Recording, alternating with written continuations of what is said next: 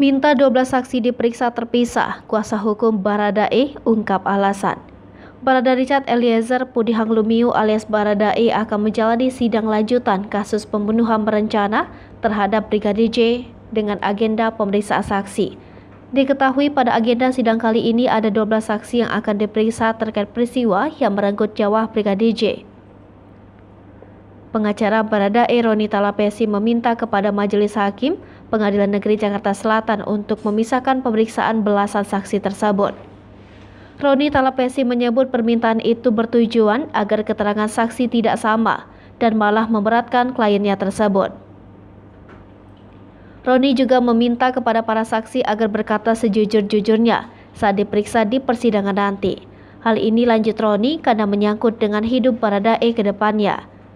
Untuk informasi, Barada E kembali akan mendengar kesaksian 12 orang dalam sidang lanjutan perkara pembunuhan berencana terhadap Brigadir J di Pengadilan Negeri Jakarta Selatan.